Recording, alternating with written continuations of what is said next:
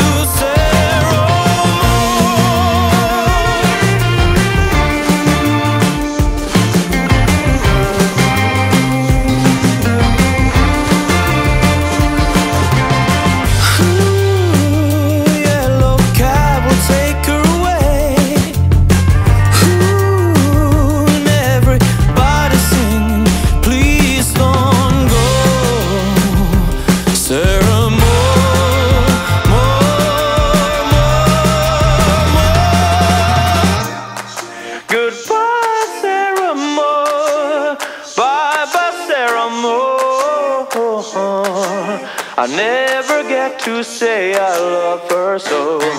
Goodbye, Sarah Moore. Bye, bye, Sarah Moore. I love.